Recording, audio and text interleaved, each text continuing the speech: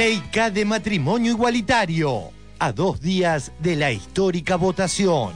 Este proyecto de Vilma Ibarra fue tomado políticamente por Néstor Kirchner. Fue un oportunismo político. Y entonces como ahora perdimos el mundial, el gran tema nacional tiene que ser el tema este de las personas del mismo sexo. Néstor Kirchner que quiere usar el matrimonio gay para enfrentarse con Bergoglio. Les pregunto si es que no cambió la actitud, sobre todo de Kirchner, porque Kirchner se está movilizando intensamente a favor del proyecto en el Senado. ¿Estaría de acuerdo con que una pareja gay, si quiere adoptar a un chico, pueda hacerlo? ¿Por qué no? Una pareja gay, ¿por qué no va a poder adoptar a un chico?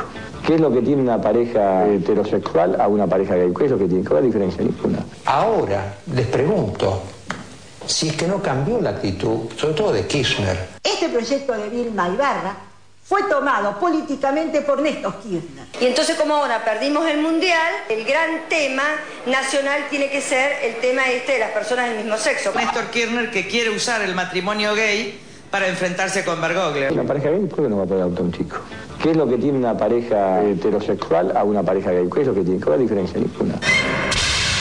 El matrimonio no es una construcción de la Iglesia Católica, es una construcción del derecho romano, que les recuerdo, eran todos paganos. Escuché hablar de la guerra de Dios. Tiempo argentino. Matrimonio gay. Bergoglio llama a una guerra de Dios. Escuché hablar de la guerra de Dios. Me parece el tiempo de las cruzadas. El debate debe volver a su cauce normal.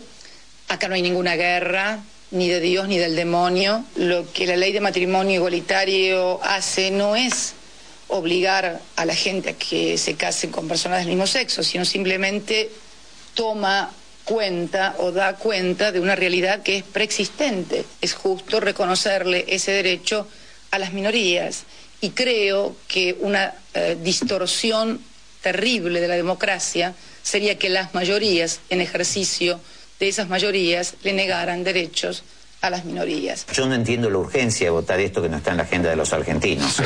Pero de todos modos. está, ¿eh? Yo soy argentino, De todos modos, está- no está. Bueno, pero la- de la mayoría de la población no. Cuando vos legislás, legislás No, no, no, no para parece, una minoría, sino esa- para la mayoría. Cuando vos legislás, No, legislás no, no, no para una minoría, sino esa- para la mayoría. Una eh, distorsión terrible de la democracia sería que las mayorías en ejercicio de esas mayorías le negaran derechos a las minorías. Nicolás Alesio, al que me da mucho gusto saludar. ¿Cómo está, padre? Buen día. Hola, ¿cómo estás? Muy bien, acá estamos. El matrimonio para todos y todas, el matrimonio homosexual, es un punto de inflexión. Acá se trata de dejar atrás posiciones claramente discriminatorias. ¿Podría decirnos desde la religión, desde eh, sus convicciones religiosas, desde la Biblia, si fuese necesario, algún argumento más a favor de- del matrimonio homosexual? Primero hay que sostener que Jesús, que es el centro de la revelación bíblica, jamás condenó a un homosexual, jamás, por lo tanto, hubiera condenado el matrimonio homosexual.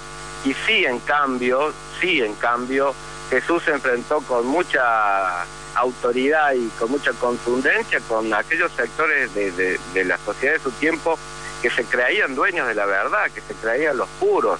Es decir, que si hay que tener en cuenta la actitud de Jesús, a quien nosotros queremos seguir, acá hay que ponerse al lado de esta comunidad que son los homosexuales, que a lo largo de la historia han sido castigados, maltratados, vistos como enfermos, como desviados, discriminados. Me parece que es un, hay, hay que sanar esa herida y lo que hoy Jesús haría es estar al lado de ellos, sanando estas heridas y reivindicando todos sus derechos. Eso es mucho más evangélico que ponerse en contra. Quienes se ponen en contra con argumentos bíblicos simplemente están usando de una manera prejuiciosa la Biblia, los textos bíblicos. Roberto, mira, te voy a hacer una pregunta muy delicada. Eh, eh, la pareja de homosexuales, suponte que adoptan un chico, un varón. Como tienen inclinaciones homosexuales, ¿no podría producirse una violación? Como tienen inclinaciones homosexuales, ¿no podría producirse una violación? No, no, eso es una perversión. Claro, la perversión es Eso, es- eso sí, sí, con una eh, predisposición hacia el hombre, hacia el masculino. No.